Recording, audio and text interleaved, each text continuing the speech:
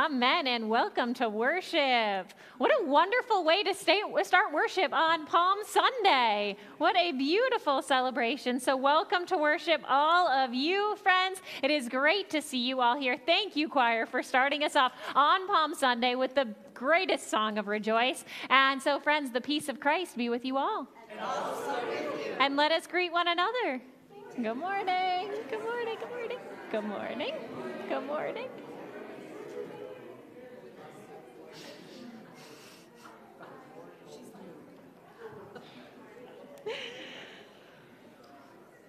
And let us gather in a moment of prayer. Holy God and loving God, we thank you and we praise you on this Palm Sunday. We ask that you pour your Holy Spirit upon us as we sing Hosanna, as we shout for you to save us and redeem us. Lord, we thank you and we praise you and we ask that you pour your Holy Spirit upon us here and now. And we pray this and every prayer through Christ Jesus. And together we say, Amen. All right, so normally we would be skipping right past the children's moment since that's a nine o'clock thing, and we don't have as many kids in this service, but it is Palm Sunday. So I think we need an adult children's moment. Don't you guys think we need that? So I won't go through the whole thing that I went through the kids, like what's it mean that it's Palm Sunday? Is it this kind of palm or this kind of palm? Walter really liked that, by the way. He was really excited about all that on the way uh, in this morning. But it's Palm Sunday, and we start Palm Sunday with our palm branches, thinking about all the ways that people uh, raised their branches, put them on the ground, but also waved them in the air and shouted, Hosanna! Say it with me. Hosanna, which means save now. But we also do a wonderful thing on Palm Sunday, and we take our palms and we turn them into crosses because we start the week with Palm Sunday with rejoicing, but then we make our way to Friday and we end up with the cross. Of course, when Sunday comes, it's the most amazing day when we realize that the tomb is empty as we journey through Holy Week there are directions for how to make these crosses in the back of the sanctuary near Mr. McDonald there. So, and we bought, we got 300 palms. So there's enough palms for everybody. I've made a bunch of the palm crosses, put them into the other room. Some are up here. If you saw, I was doing a terrible job paying attention during the song, singing only so many words because I was making crosses at the same time.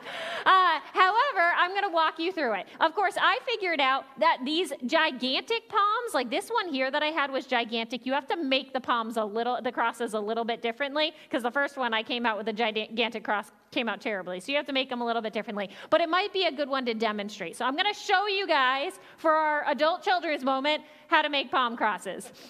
No promises, all right? We're gonna do the best we can. I'm not the world's best teacher, uh, so we're gonna figure it out. So you have to decide where you want the top of your cross to be. Usually with the smaller ones, I, I start it more like here, but with these bigger ones, I'm gonna start it a little bit taller. And you bend it towards you. So you fold it towards you. You can pull off the straggly pieces or you can let the straggly pieces hang, it doesn't matter. So you've got the, the part folded in front towards you. And then you need to make the first arm of the cross. And so you're going to take it and make like a, you know, a triangular fold here. And you're going to make an arm of the cross. And I always uh, push it down so it's nice and firm. So then you've got this. It's easier when I only have to show you guys and not like you guys and the kids sitting up here. So maybe we'll get this. And then what we want to do is we've got it folded in front of us. Then we want to fold behind because the back part's actually going to be the pretty part. So we're going to fold it behind. Now, if you're making a proper cross, whatever that means, these should be the same length approximately. and so now you fold it behind, and then you've got this arm. And then with this arm, you've got to fold it back towards you. I hear lots of noises. I don't know how well this adult children's moment's going with all these noises. And then, so I remember, there's uh, like concrete directions on how to do this. When I was a kid, I think I just learned how to do it and I just always did it my own way. So the one, once I get to this part, this is where I want this side, the back side, to look pretty. The front side, that my side, I don't care what that side looks like. So I take it and I wrap it around the front and then I bring it up here and then I wrap it around the other side. And then in the back, I just take this piece and kind of like tie it through. How'd you do there, Miss Gay? Did you get it? I don't want to see it. And then I just kind of like tie it and tie a knot because this back part's going to be kind of ugly. But then on the front, you get that. So there you go. Welcome to our adult children's moment. Uh, and so now, uh, with that said, if anybody has any announcements, come forward at this time. I know we've got some announcements, so come on forward and share those announcements. I will just share my announcement, which is that Saturday is our breakfast with the Easter Bunny, another youth group fundraiser. It's really, I think, quite possibly one of the last youth group fundraisers before the mission trip. So, if you have any kids or grandkids that would be interested in this, make sure to sign up. You sign up online. Last I checked, we had about 78 people signed up. So, we have plenty of room for more. So, it's $5 per person, Easter egg hunt, Easter bunny, pictures, breakfast. It's really quite a good deal. Good morning. I want to thank everyone who donated to our baked goods sale yesterday. We had so many wonderful things and we sold a lot. But we do have leftovers, only day old, and we're only asking for donations. So go in Cook Hall after church, or if you've been there already in between services, help yourself. If you want to contribute, it all goes to um, the youth group. So I appreciate that. Any leftovers, we'll just put in the freezer for your coffee hours. But thank you to everyone who baked. Good morning. I have two announcements. Uh, the first announcement is about a baking class that Anne Marie will be teaching. Even though she wouldn't come up here, I'll be sharing. so the class is on Saturday, April 20th. It starts at 10 o'clock. It's at the Niagara Falls Culinary Institute. And uh, we, uh, the cost is $40. We will be making coconut cream pies or mini cream puffs. We're not totally sure yet, but one of the two. So if you are interested, please just sign up. There's a sign up sheet um, on the bulletin board, and we'd love to have you there. And then the second announcement is for our pastoral care class. Uh, that will be Wednesday, April 3rd. It's at 5 o'clock. It's actually going to be at my house. And what we're going to be doing is we're going to be uh, working on how to make a prayer room. So I'm going to show you mine and then teach you how you can do that in your own house. Uh, also, we'll have some appetizers, so it'll be uh, fun to um, hang out together and, and also work on prayer rooms. Um, I also live in Youngstown, so if you're interested, um, I'll give you my address, but sign up on the bulletin board. So thank you so much. Good morning. Um, I actually have two announcements today. The one, I'm sure you know what that might be. But I do want to start with the first announcement, and that is that today, uh, Marcel, who is in the praise band, and myself will be facilitating free breeze training after our service um, this morning. Um, so even if you are an expert on Breeze, but you just need a refresher, or if you've never touched the Breeze church application in your entire life, we are there for all levels. Um, and some of the things that we're going to be covering is how to download the Breeze app on your device um, if you've never done that before. Some of you may have used Breeze in the past and you have no idea what your username or your password are. We're going to help you get those reset if you need to. Um, we're going to we're gonna go into the application. We'll talk about how you can access the church directory so that you can look up information for fellow members. We'll spend some time going in and updating, um, making sure that your profile is updated, but also making sure that your beautiful photos are out in the app because that is so important just to have that presence. Uh, we're going to spend some time talking about how you can use the Breeze app to access the church calendar and upcoming events. And then finally, we'll also spend some time talking about how you can go in and either enroll in online giving or make an edit or an update to your online giving. So we look forward to that. Uh, again, we'll be in Cook Hall after the service, and we look forward to anyone that wants to take part in that training. My second announcement is in regards to our basket raffle from yesterday. Did anyone win? Oh, lots of hands. I can tell who the people are that did not, and you know, a little, little disappointed. I'm sorry, I didn't make any promises. But before I share the results with you, I think it's important that um, I give a moment of thanks because, as you can imagine, with an event like this, it takes a huge community to pull off a huge event like this. I'd like to first start by thanking everyone that donated baskets, basket items, their time, their gift cards. Um, I also want to thank our basket assembly crew. Can I please get a round of applause for all of you that made this event possible?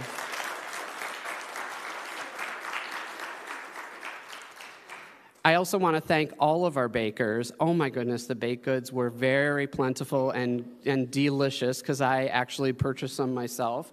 So thank you for that. For everyone that assisted with the setup process, um, everything from moving tables to moving baskets 157,000 times. Um, I want to thank everyone that took, uh, took part in the ticket sales. Um, I want to extend my thanks to the entire youth group for um, doing the Cheeses for Jesus, grilled cheese, and concessions. Um, I want to thank all of our baked goods sale committee. I know that there were several of you selling baked goods, um, and we did a fantastic job with that. Uh, everyone that took part in the crock pot cook-off and organizing all that went into that. Um, our face painters, um, our Western New York Justice League, yesterday, if you weren't here, we had Scooby Doo and Velma visiting us with us. Um, I also want to um, really thank, um, not, not that anyone is more or less important, but really thank our basket runners. Those baskets got more mileage on them than my car has. Um, I also want to thank the folks that helped with just identifying who the winners were for all of the unclaimed baskets. We had a lot of unclaimed baskets, and most of them are gone already this morning. Um, I want to thank all of our teardown crew. There's a lot that goes into putting the church back together after a huge event like that. And of course, last but not least, none of this would be available, none of this would be possible in terms of fundraising without our fundraising committee, which is the PBJs. So I'd like to really extend my deepest appreciation to Pastor Brianna, Jeff, who is my partner in crime, Joyce, um, Jill, and Jacob. Please give them a huge round of applause.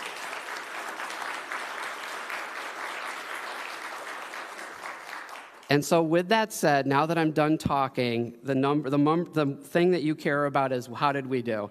Uh, so, first of all, I'll start off with our youth group. Our youth group um, made money selling the concessions, as well as 100% of the proceeds from the basket, ra- or, excuse me, from the baked goods uh, went to our youth group, and they raised $668.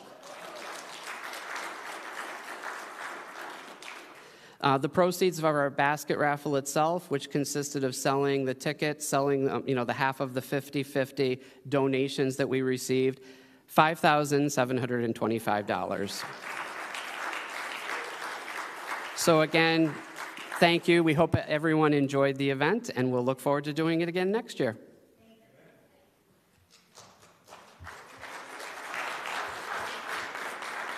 Before John heads out, you guys know none of this would be possible without John's leadership. Can we just give John a round of applause?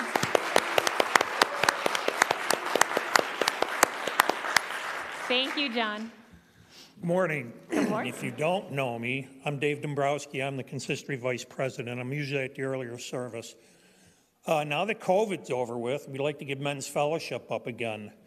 Uh, we, I've had a few suggestions on places. Uh, it'll meet once a month on a Saturday in the morning for breakfast. Know, we have a little fellowship, chatting, man gossip, all that kind of stuff. If you have any, I'm going to have to pick a day by date by in May by Thursday. It's when I'd like to start it is in May, so I'll pick a date by Thursday. Ted, you got any suggestions? Uh, if you have any questions, stop me, see me. My phone number's in the Breeze directory or an email. Just drop me a line. I'm going to go with Thursday, and it's just going to basically be a morning of fellowship, conversation, and good fun. And we'll decide how we're going to run it from there. So if you have any questions, give me a call. His contact information is also in the back of the bulletin since he is our Vice President.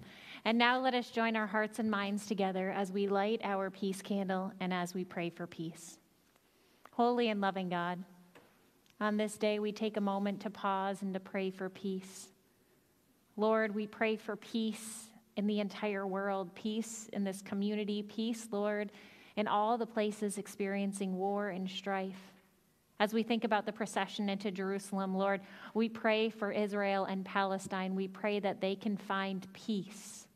We pray, Lord, that there can be peace on earth and that we can be instruments of your peace. We lift this all in the name of Jesus Christ, the Prince of Peace, and together we say, Amen.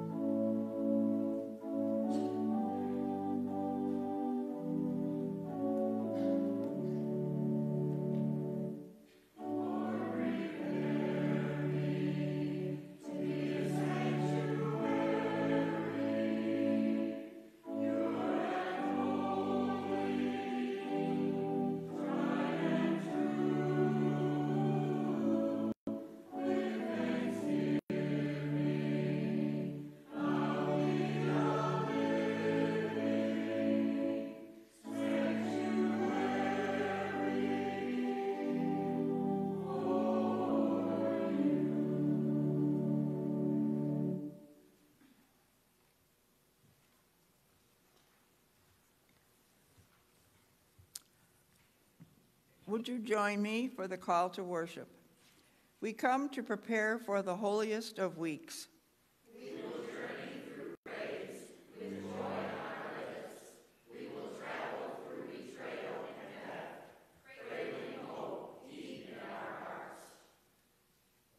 Jesus leads us through this week, and we will follow, for he is the life we long for. He is the word who sustains us.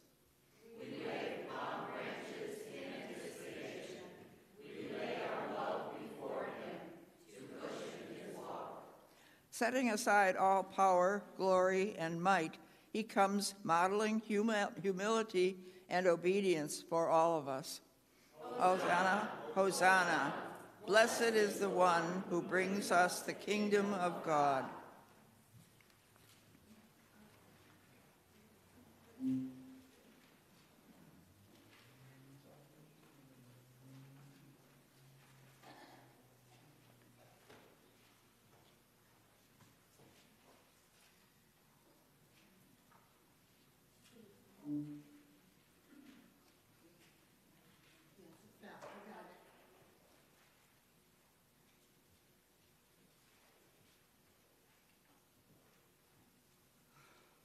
Música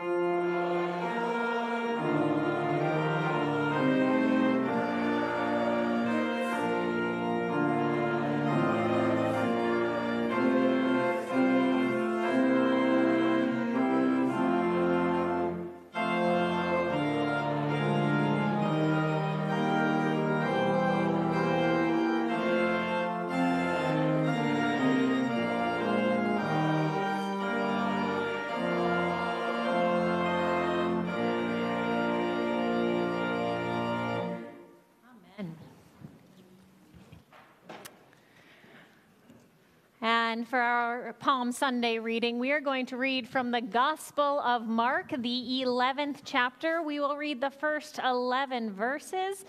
And so open up as we read about the procession of Jesus into Jerusalem. And I do somewhere on here have my Jerusalem cross on for this Palm Sunday. And if you are ready to hear the word of the Lord, will you please say amen? Amen. Starting with verse 1. When they were approaching Jerusalem at Bethphage and Bethany, near the Mount of Olives, Jesus sent two of his disciples and said to them, Go into the village ahead of you, and immediately as you enter it, you will find tied there a colt that has never been ridden. Untie it and bring it. And if anyone says to you, Why are you doing this? just say, The Lord needs it, and will send it back here immediately. And they went away and found a colt tied near a door outside the street. And as they were untying it, some of the bystanders said to them, What are you doing untying the colt? And they told them what Jesus had said, and they allowed them to take it. And then they brought the colt to Jesus and threw their cloaks on it, and he sat on it. And many people spread their cloaks on the road, and others spread leafy branches that they had cut in the fields. And then those who went ahead and those who followed were shouting, Hosanna! Blessed is the one who comes in the name of the Lord. Blessed is the coming kingdom of our ancestor David. Hosanna in the highest heaven. And then he entered Jerusalem and went into the temple. And when he had looked around at everything, as it was already late, he went out to Bethany with the twelve. The word of God for the people of God. Thanks be to God.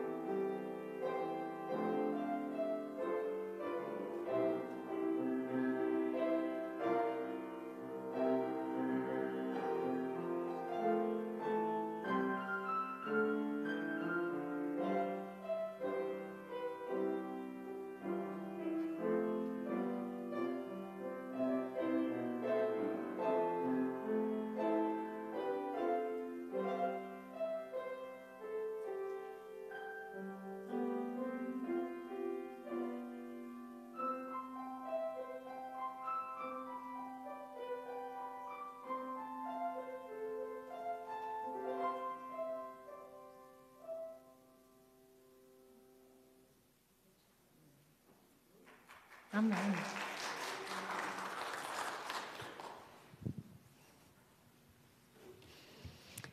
And let us join in a moment of prayer. Holy God and loving God, we come to you on this Palm Sunday. We rejoice in your presence. And Lord, we ask that you bless the words of our mouths and the thoughts of our minds, so that all that we do and all that we say can be holy and acceptable to you, O Lord, our rock and our Redeemer. Through Christ our Lord, we pray. Amen. So Jesus usually just strolled in and out of Jerusalem with his disciples by his side and with the crowds running up to Jesus because they wanted to hear what Jesus had to say or they wanted to be healed by Jesus. But this time, Jesus entered into Jerusalem with theatrics like never before because Jesus was not normally known for theatrics, except this time, in this moment, Jesus had some theatrics accompany his procession into Jerusalem. Jerusalem as hundreds of thousands of pilgrims made their way into Jerusalem for the Passover. Jesus entered the city with purpose and with meaning. First, he entered the city on a donkey, a donkey that had never been ridden. Now, it was known and understood by the people of that time that when a king entered a city on a horse, that was a sign of war. That was meaning that he was ready for war. But when a king entered a city on a donkey, that was seen as a sign of peace. And a donkey that had never been ridden, that was a sign of purity. And Jesus, when he entered into the city, everybody saw him and they took off their cloaks and they spread their cloaks on the, the pathway that he would take into Jerusalem. And they did that because their ancestors had done exactly that for the kings of Israel that had come before. And then they went and they, they took down the branches from the trees. They took down the palm branches, they put some of the branches on the ground, and they waved those branches in the air, which was the same thing that their ancestors had done when Simon Maccabeus had entered Jerusalem victorious. And they shouted, Hosanna! Shout it with me, Hosanna! Meaning, save now. Save us now, Jesus. These were an oppressed people. These were people who were tired and who were sick of the Roman Empire's oppression. These were people who wanted deliverance. They wanted a Savior. And they saw Jesus coming and they said, Hosanna, save us now. Jesus, save us now. There are so many ways that we can learn from Jesus. So many ways that we can learn from Jesus, but the one way and the only way we're going to talk about today, because we're going to keep things a little short and sweet today, the only thing that I want us to focus on today is the courage of Jesus. Because when Jesus entered into Jerusalem, with all of that pomp and circumstance, when Jesus entered into Jerusalem with all of the theatrics and everybody was celebrating, Jesus knew what was in front of him.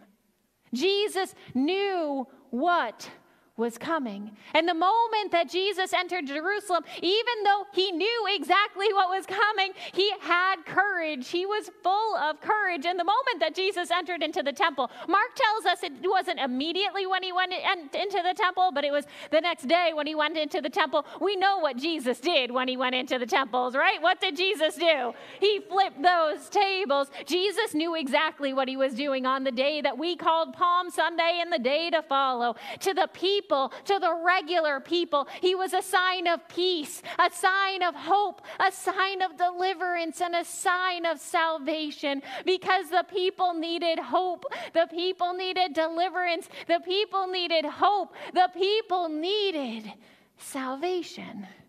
But to the leaders, to the leaders, those who wanted power, those who were jealous of Jesus, those who found themselves enraged.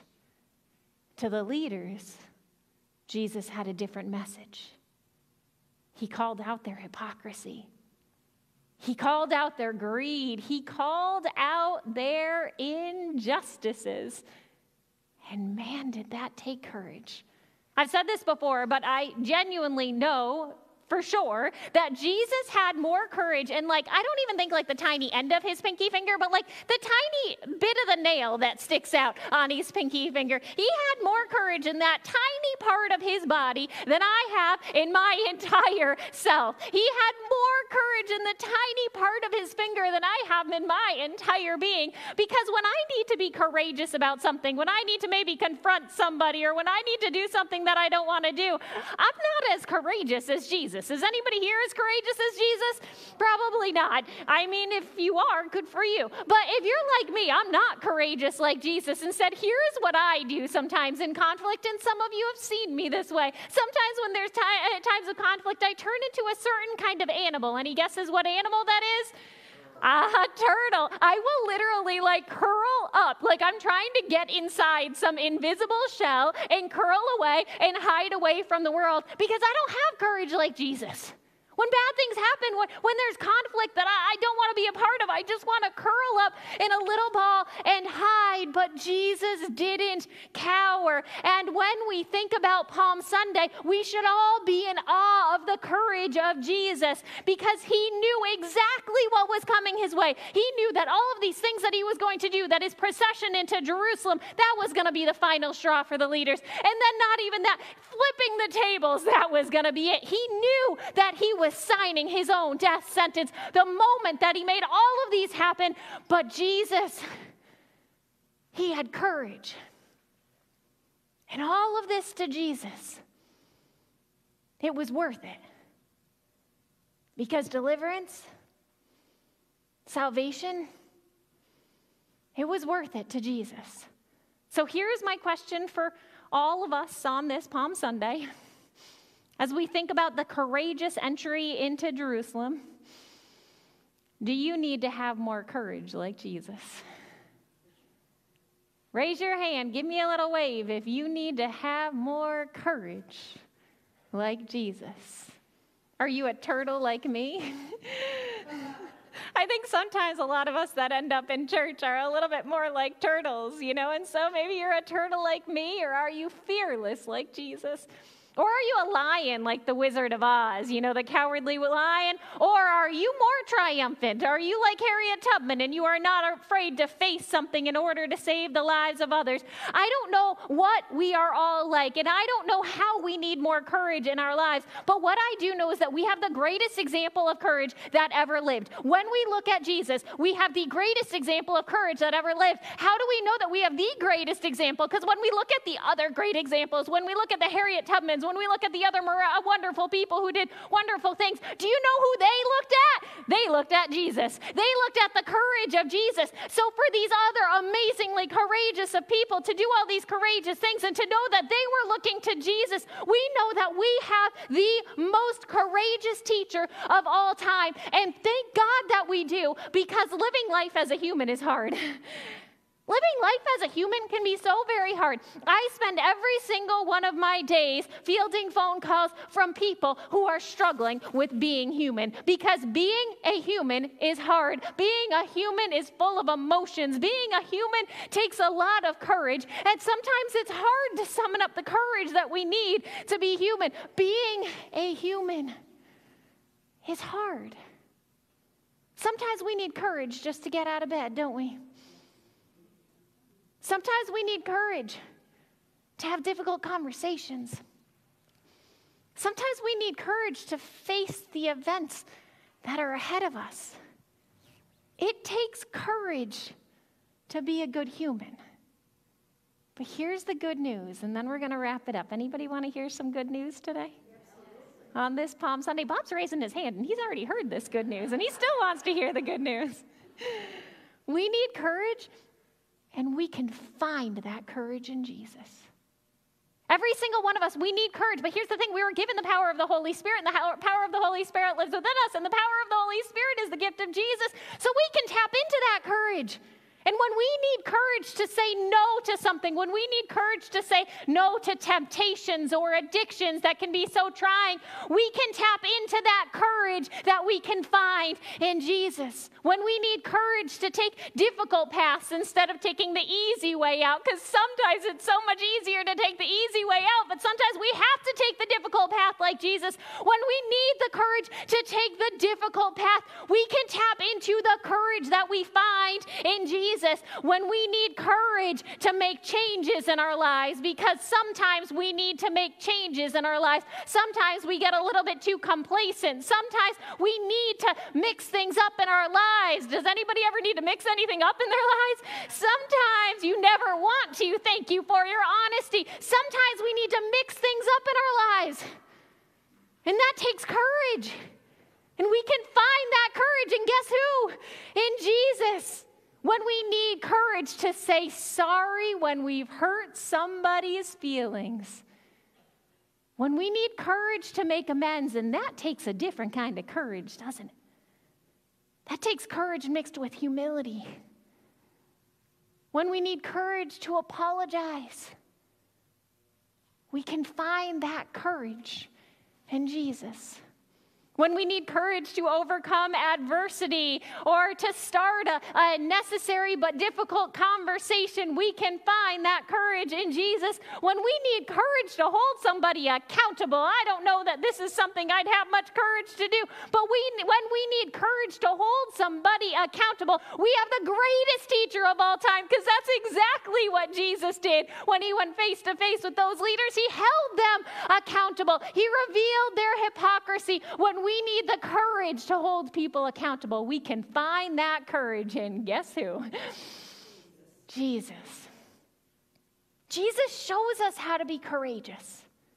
So, whether you're like me and you're a turtle and you'd rather just curl up in your shell and wait for it all to go away, or maybe you're like the lion and the wizard of Oz, or maybe somehow you have some of that courage that's in Jesus. We can think on Palm Sunday about the ways that we can become more courageous because we have the greatest teacher of all times. So, as we gather here on this Palm Sunday, as we raise those palm branches in the air, I've turned all mine into crosses, so I can't raise any more in the air, but we can raise our palm branches in the air and we can shout, Hosanna! Hosanna! And tap into the courage of Jesus, whatever every single person here is facing. Whatever we need more courage to do in our lives. And I know being a human takes courage and it's hard to be a human. Find that courage in Jesus. Get that strength from Jesus. And maybe you'll find that you won't be quite a turtle anymore you'll start to lift your head up because that courage of Jesus is contagious. And let's join in a moment of prayer. Holy and loving God, Jesus gave up his life because we were worth it to him. Jesus gave up his life for hope, for deliverance, for peace and for salvation. Lord, his courage is tremendous. So, Lord, on this Palm Sunday, as we begin this holiest of holy weeks, give us courage. Give us courage to do whatever it is that we need to do. Give us courage to be strong and to stay faithful. Give us courage to be good humans in this world. Give us courage, Lord. And we pray this in every prayer through Christ Jesus, our Lord and our Savior who taught us to pray, saying, Our Father, who art in heaven, hallowed be thy name. Thy kingdom come, thy will be done, on earth as it is in heaven.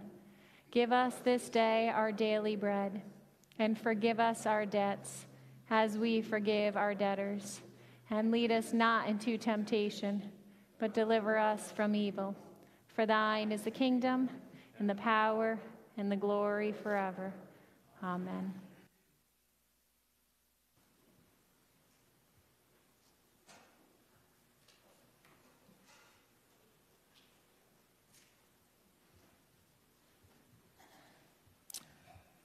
Let's now join together and present our tithes and offerings.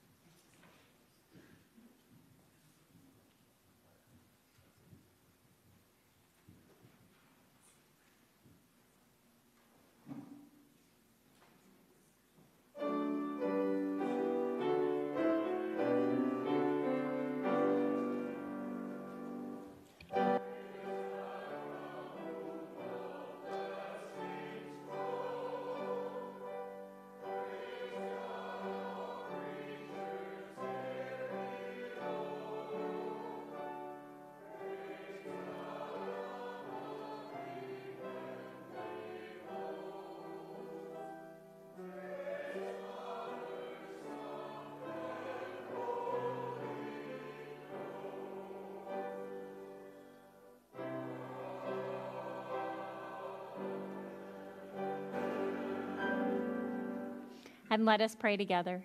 Gracious God, may this act of giving transform our hearts and our minds. May you bless these gifts and use them to do your will. Through Christ we pray. Amen.